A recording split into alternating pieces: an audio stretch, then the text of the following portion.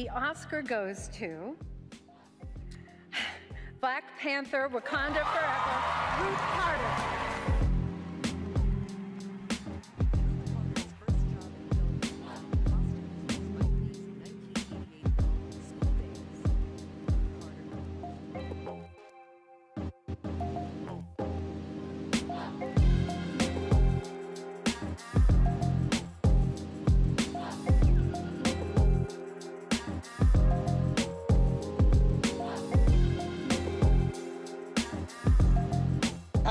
Looking at uh, the indigenous tribes of Africa, and in this case, we um, we were inspired by Mayan culture, and um, so that makes it really exciting to go down new uh, new frontiers and and retrain the uh, standards of beauty to see beauty differently.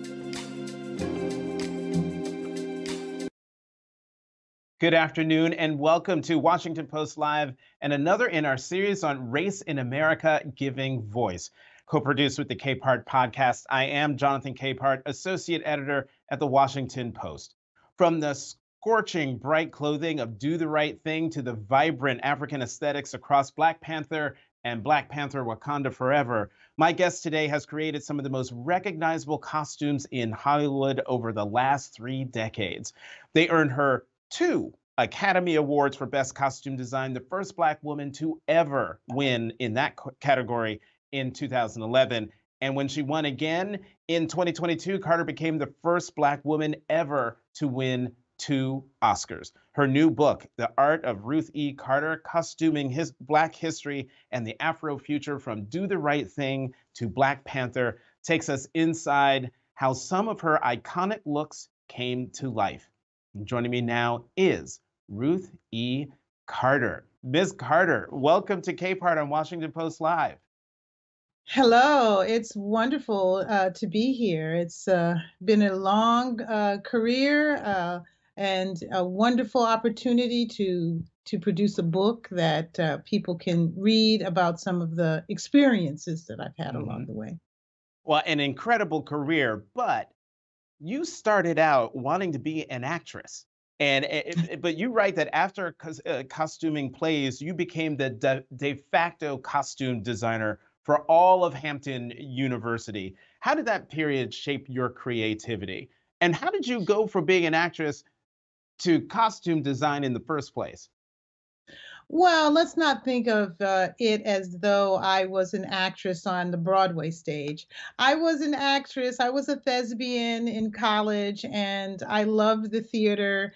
Um, it was a, a, a place of, um, of cathartic uh, experience for me. I was a special education major when I started, and the theater was a place that I um, found a home in where I loved to perform and and uh, get into characters. And so it was an extracurricular activity for me, the acting part, and that I enjoyed.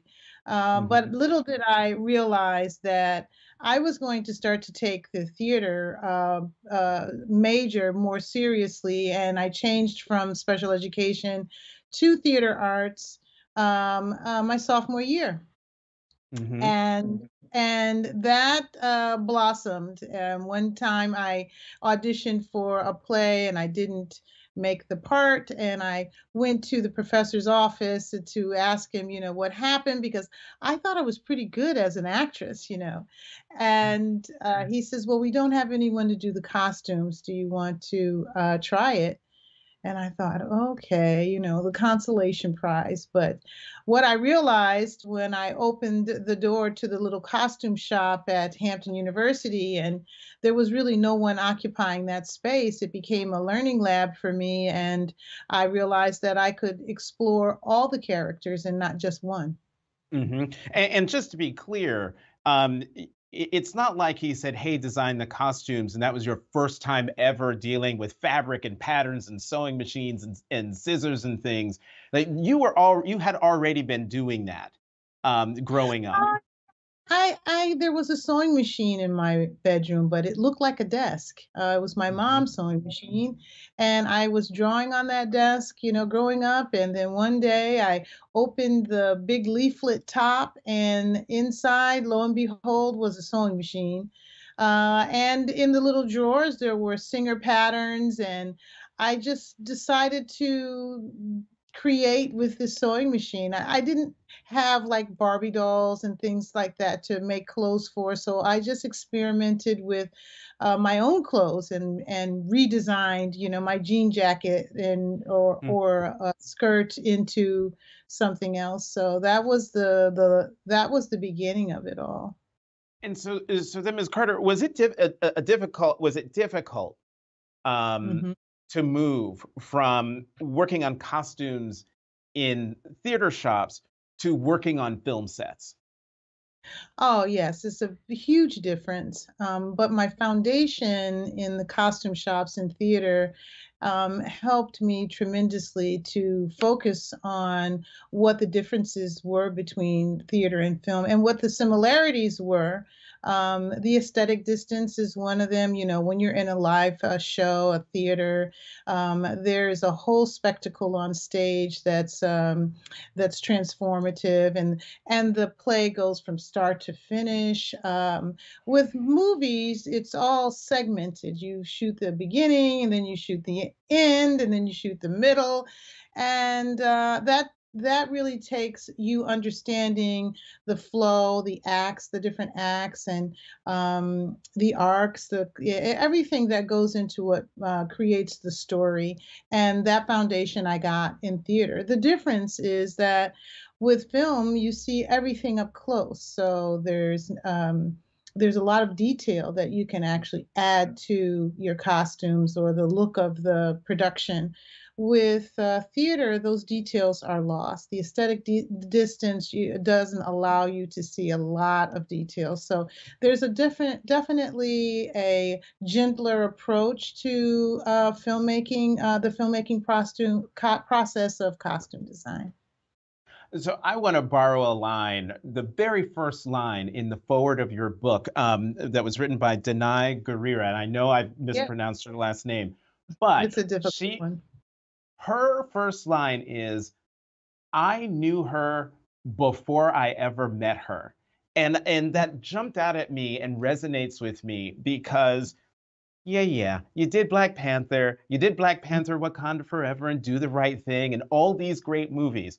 But to Mhm. me, the greatest movie you did was your very first movie, School Daze. Oh, school It is the one it is the one Spike Lee movie I have watched definitely more than once and certainly more than 10 times.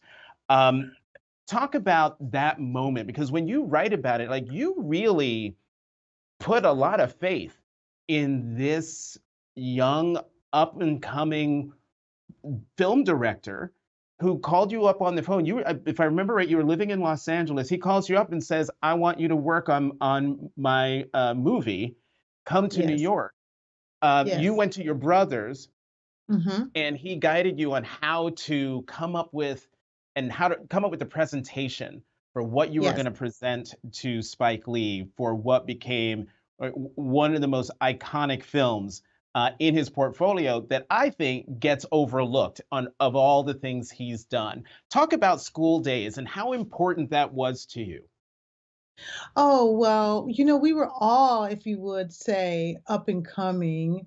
Uh, that was the one person we knew in film, uh, Spike, and he'd graduated from NYU Film School, and so he was our fearless leader. We re we really relied on him to give us the guidance that we needed to do a movie. And so I was excited.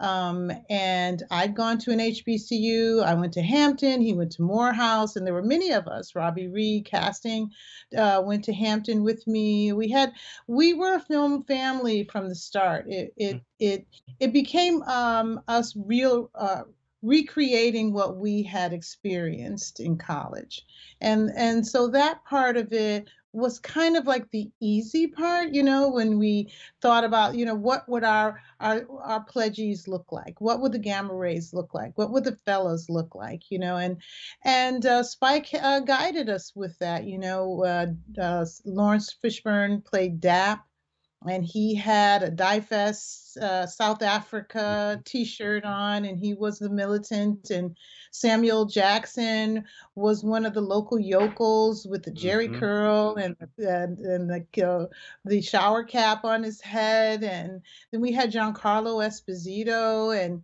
he was uh, he was the leader of Gamma Phi Gamma, the fraternity, and at that time there were a lot of uh, there were a lot of companies that were willing to support uh, young filmmakers like Spike Lee. So we had Nike and uh, so many other. Um, people that came in and gave us like uh, bags and book bags and all kinds of stuff. So we were supported as this little tribe of of young filmmakers that were creating a story about their own experiences in college and yet it did have this this undertone this little dark undertone you know with the gamma rays really wanting to you know make their mark with the gammas and and uh, we really did have a lot of fun and i think that that film stands the test of time because it was done with so much heart. It was done with so much promise and hope for for our future. It, it is truly it is a terrific film. Also you know to go back to that line i knew her before meeting you i knew her before i met her that movie those costumes um, leave aside what they were talking about in the arc of the film, but it is something even watching it, what, three decades later, I know those people and I know yes. that I know the fashion. Um, mm. In reflecting on your time, particularly um, with Spike, um, uh, you write in the book, I knew I could not only design costumes, but also express the heart and soul of Black people, their culture, their nuances, my personal experiences as a Black woman, and the character details I found the most interesting. Talk more about how film allows you to convey the, the complexity of the Black American experience. Well, just like you said, you know, when you looked at the film, you said, I know those people. And even today, it's still relevant. And, you know, Do the Right Thing is in the Library of Congress. You can watch it today and you and you and you feel like it's still relevant. And, you know, when I uh, first got into uh, costuming, I wanted to work for the uh, Negro uh, Ensemble Company in New York City because they were doing some really powerful plays that talked about culture. When I went to the Schomburg Center for Research in New York uh, when I was uh, researching for Malcolm X, and I saw all of these photographers and their images of Black people in Harlem in the 1940s and the 1920s. And I I too felt like I know these people. You know, you see the faces. You the the decades might change, the costumes and the clothing, you know, still rings a familiarity to you, the faces especially. So if I do a film like Rosewood or Baby Boy, I feel like I'm creating a part of culture that will stand the test of time, that these people um, are, not unlike those who we knew, uh, those of our past, those of our present, and, and those of our future. So there is a connection that I think you feel when you look at the experiences and the, um, you know, the iconic um, um occurrences like the Selma March. You know, there is something that you sense that you want to really bring to the screen when you're creating costumes. Well, speaking of the Selma March and also Malcolm X, Selma March um, is an historic event. Malcolm X is an historic figure. When you're costuming an historical figure like Malcolm X or John Lewis and the and uh, and the Selma Marchers, how do you balance the aesthetic of what historical figures were photographed wearing and your mm-hmm. interpretation of what you think they would wear. Well, there's uh, two. It's twofold. You do want to replicate the research exactly. I'm, I, you know, it's not unlike me to be on set with my research, with my photographs, and comparing what we are presenting to what was there. We're constantly surrounded by research when we're getting background dressed, when we're talking to sometimes the descendants of the march, you know, or people who were there when they were children um, uh, at the march and they're telling us about their experiences. And then there are those occasions when you are uh, you don't have the reference. So the research that you do about the person um, with Malcolm X, I went to the Department of Corrections and I asked to see his files um, that he had when he was in, imprisoned in Massachusetts. And I read all of his letters that he wrote to the uh, commissioner to get uh, transferred to other prisons that had better libraries. I, I saw his medical records. I, I, I did so much research and reading I felt like there was a tone and a tone to him, and that I could make some decisions on, you know, what he might wear in those times where we had no research to actually uh, compare it to. Mm. You know, and this is a great segue to an audience question that we have from Sue Ann Strom from Kansas. And she asks, What is your process for designing clothes for a movie? Do you research the story of the movie? So you just told us about your process of researching Malcolm X. But mm-hmm. what about, say, uh, Black Panther? How do you go about researching um, a storyline like Black Panther and then using that story and making costumes for the yeah. for the actors to wear? Well, you do uh, go back to the comics. Uh, you are ha- in conversation with the director um, we are we were examining Afrofuture, but you could see that in the comics that were done so long ago in the 1960s by Stan Lee and Jack Kirby that there was this Wakanda that was a melting pot of tribes, and you know those little comic boxes that where they painted all of these characters as you as you uh, as you thumb through the comics and and some of it was written more contemporary, you know Ta-Nehisi Coates and and others Reggie Hudlin, they all have their versions of Black Panther. But one thing that stayed constant was that it was this melting pot of tribes. It was this place that was a pre colonization. And with that information, we decided to select 12 tribes that we researched in depth and come up with these illustrations that, that depicted their culture, their culture of uncolonization, of honoring their tribal elders, of honoring their history, but also bringing it into the Afrofuture, and infusing technology and becoming very modern, modernized with the look. So when you combine all of those elements together, they kind of show you all the possibilities that you can explore. So we explored 3D printing when we when we made the Queen's crown, which is called an hmm. isicholo, the uh, the South African married woman's hat. So we 3D printed it, and that way we combined the technology, the tradition, um, to show that Wakanda was uh, in Africa. It was forward thinking. It, it had the latest technology, but it also honored their culture and so you know afrofuturism i was going to ask you ask you about that. When you did you know what that was or have a grasp of what that was before you started working on black panther? And how did it evolve as you worked on the film as you did your research and you, as you started designing? Well you know um, it, it's uh, it's multi-layered uh, I think in the 80s we called it neo soul. Uh, in the 60s, maybe it was, you know, Black Power. Um, I feel that, you know, I had a um, a, an upbringing in Afrofuture in that we were always thinking about, you know, uh, Kwanzaa or bringing in our our history, uh, knowing our history. And so coming into a film like Black Black Panther, you do have a base that you're working from. Um, Afrofuture was coming into vogue. Uh, I remember during my interview with Ryan Coogler, I showed him a lot of of images that I had collected around the internet and of these beautiful dark hues with beautiful color and um, how it related to culture in an indirect way and it was still fashionable.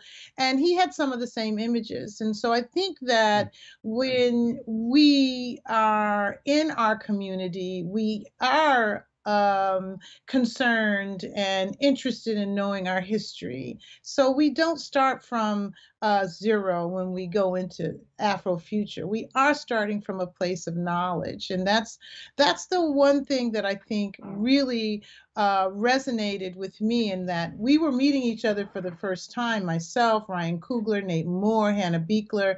We were coming together to do this this picture, this beautiful uh, tableau of of African culture, and we all really came to the table with with uh, a love for it and and a base, you know, a family base. And mm-hmm. so we could springboard and create more Afrofuture images. So let's talk a little bit of process. How do mm-hmm. you use, um, well, do you use mood boards and collages uh, as part of, as part of your process? How do they help? Well, that's the thing. Not everyone on your team um, has an awareness of um, Afrofuture or African culture, and so you have to create a, a roadmap for everyone. You have to create references so that um, if someone needs to understand things better, or understand how things are worn, or what some fabrications are, a lot of your team are expert at you know aging and dyeing or uh, fabric sourcing, and so they need to understand what's in your head. They need to understand what the story is supposed to look like. And the collages and the mood boards, I mean, we do dozens and dozens of them and they're huge and they're all over the walls in our in our studio and they're uh, very st- strategic and you can actually walk through the film uh, uh, with these mood boards and you understand exactly um, what we're trying to achieve. So it's very important for the creation of the of the film. I have another uh, uh, audience question to sort of broaden that aperture of our conversation. This comes from Austin Gray from California, who asks, "Do you think Black artists receive enough recognition? How can we elevate the history of Black women in the film industry?" Well, that's a good question. Uh, elevating the history of Black women in the film industry is something that well, you know, we do have to uh, take charge of. Um, you know, you just were heartbroken this year when you saw Angela Bassett uh, not win for Best Supporting, and and you wonder why um, is this happening? Because you saw the performances. And so you know how do we elevate? How do we uh, shed shed that light? Um, i think it's it's multidimensional. We have to continue to tell these stories. We have to continue to cast in this way.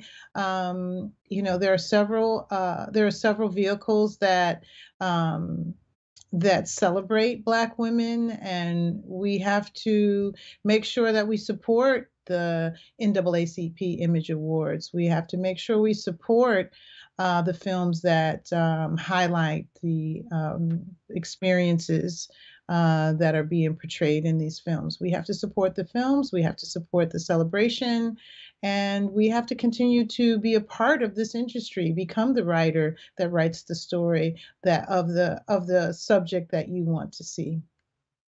I, as you can tell, I could talk to you for a, a, full hour, but we've got about like five minutes left. And I want to I want to squeeze um, some other some other things in. One, what does it mean to you to um, know and have the Black Panther costume being one of several objects from the film that resides at the National Museum of African American History and Culture. Um, that we see it uh, there, the um, Afrofuturism exhibit. Well, I'm very proud to have been a part of uh, the the film. Um, I'm very proud to be a part of the Marvel family. Um, it's an honor to uh, create something for a community that was in need of a superhero and um, there are a lot of uh, collaborators and people involved in creating those costumes. And I'm honored that I was the one who took the helm and uh, and brought these images to life. All right, I'm just gonna tell the control room we're we're gonna go a little over because I've got to get these these last two questions in. The first one: This year marks the 50th anniversary of hip hop, which blows my mind that it's 50 years. Mm-hmm. Um, when you started out, the genre was still in its infancy. It, you've played a major part in bringing it, its aesthetic to the big screen. How did you think you? How did did you think your work played? Did it play a role in hip hop being more widely embraced? Oh yeah, um, I went back and forth between New York and uh, Los Angeles for oh, what, 15, 20 years. I worked with John Singleton. I worked with Spike Lee. Um, going back and forth uh, like that really did put hip hop right front and center.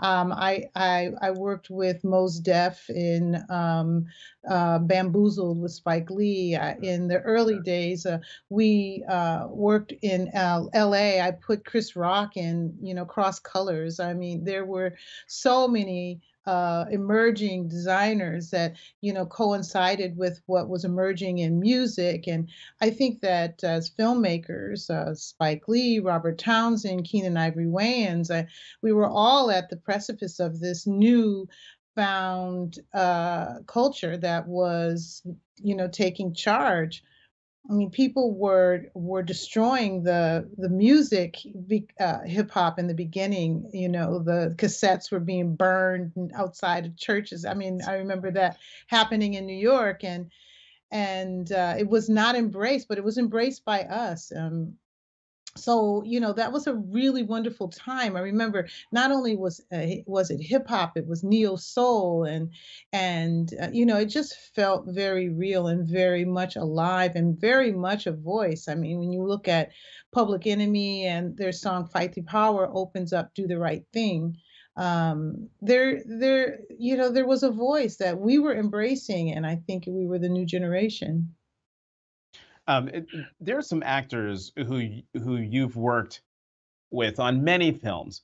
8 mm-hmm. with Eddie Murphy, seven yeah. with Samuel L. Jackson, six yeah. with Angela Bassett. The question is, mm-hmm. how does working with actors again and again impact the costumes you design for them? Yeah, you know, there's a shorthand. Um, when you first work with them, you don't know what they're going to expect. Uh, you don't know how your relationship is going to play out. And when it plays out well, you're invited back to the table. And the next time you work with them, and the next time you work with them, you understand their process more. You understand that Samuel L. Jackson loves to uh, work with the costume. And I have created some unusual things for him, like an Old Boy, and I've done some, you know, silly things like in Do the Right Thing on Samuel Jackson. And, you know, I've done some chic looks on him in Mo Better Blues, and he loves the costumes. And so knowing that about an actor before they get there, you know how to prepare the room, you know what what kind of fun you're going to have, you know how much time to put in place for them. You know that after an hour, they'll still be down to trying on more things. And, and that's across the board. Um, Angela Bassett, uh, you can see her thinking in in the fitting room. It's a transformative uh, process for her. Um, she's very trusting, and she will see what you have. She will wear it, and she looks at it, and you can see her mind thinking about her character and how she'll hold her body in this costume. So when you know that you can explore with them like that, then you are free to be creative. And that's the real wonderful thing about uh, working with an actor over and over and over again. I'm going to squeeze in one more. It's a battle between two really good questions, but we are out of time. So I'll, I'll, I'll end with the simpler one. What's one okay. film that you loved making the costumes for that you think gets overlooked?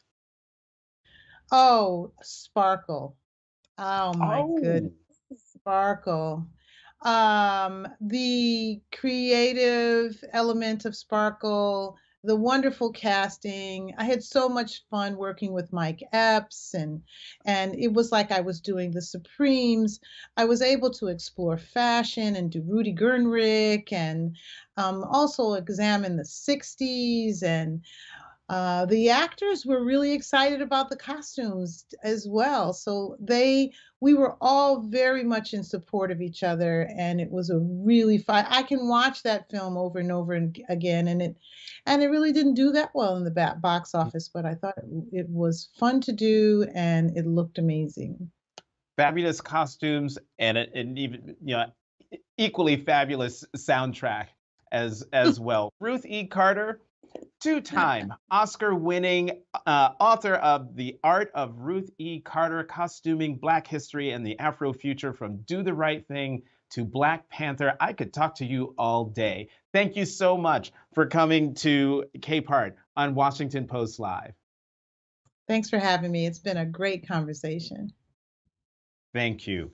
And thank you for joining us. To check out what interviews we have coming up, head to WashingtonPostLive.com.